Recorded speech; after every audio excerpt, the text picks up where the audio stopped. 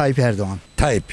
Tayyip'im kazanır kızım. Tayyip'im bu olmasa Türkiye'miz bitti. Batar Türkiye'miz. Cumhurbaşkanımız Recep Tayyip Erdoğan Kemal Kılıçdaroğlu çıkacak gibi gözüküyor. Yok. Mansur Yavaş. Sizce Millet İttifakı'nın Cumhurbaşkanı adayı kim olmalı? Tayyip Erdoğan. Kelemde gitsek vazgeçmem o adamda. Bir insan göremiyorum olacak. Yani bu dönemde. Hiçbirine olumlu bakmıyorum. Tayyip.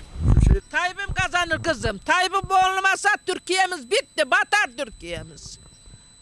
Ha, batar Türkiye'miz. Tayyip'ime üveyim.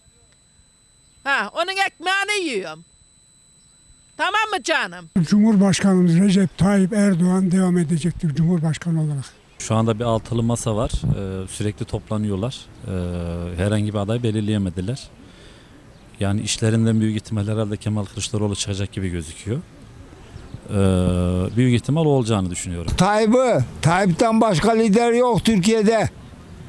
Öbürlerine hiçbirine güvenilmez. Yok. Bittik. Kim adaletli olursa olsun. Adaletli çalışması lazım. Recep Tayyip Erdoğan. He. ben adayı göremiyorum yani.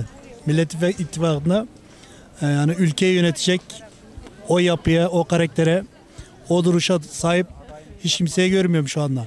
Hele hele o altılı masada kesinlikle. Mansur Yavaş. Ben Cumhur İttifakı'na yanayım ama madem sordunuz şu anda en mantıklı Millet İttifakı adına Mansur Yavaş'ı görüyorum. Kılıçdaroğlu kifayetsiz.